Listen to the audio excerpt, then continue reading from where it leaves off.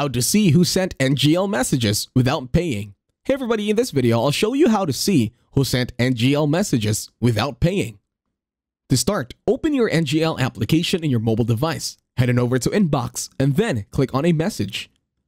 In here, you will see an answer coming in from one of your friends or followers. Now, tap on Reply.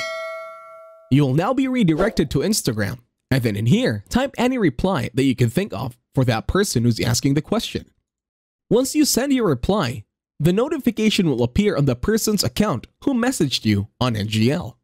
Then, that person will first view your story because they will receive the notification. Now, once you view on your story, tap on Activity, and then you will see all the viewers. In most cases, it's likely he is the one who has sent that message over. And that's it. Thank you very much for watching. Hopefully you got some value in this one, so please leave a like, share, and subscribe to the channel. And as always, I'll see you on the next one.